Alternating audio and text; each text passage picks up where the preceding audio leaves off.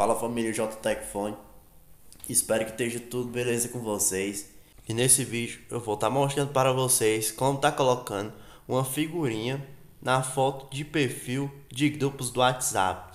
Para quem não sabia, você pode estar tá colocando figurinhas, você pode estar tá colocando figurinhas com o perfil nos seus grupos do WhatsApp.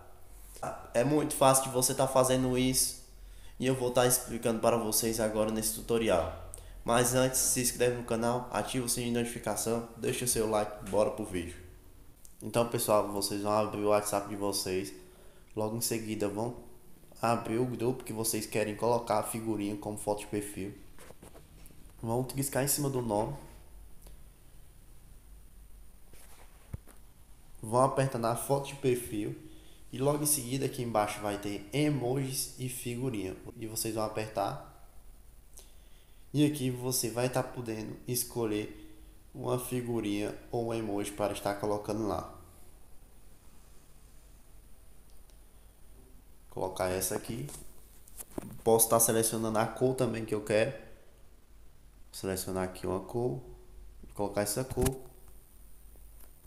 e logo em seguida eu aperto confirmar aqui em cima. Apertei confirmar e já apareceu aqui a figurinha que eu coloquei e a cor e a cor de fundo também que eu acabei de selecionar. É muito fácil de você estar tá fazendo isso, pessoal. Espero que vocês tenham entendido e até o próximo vídeo aqui no canal.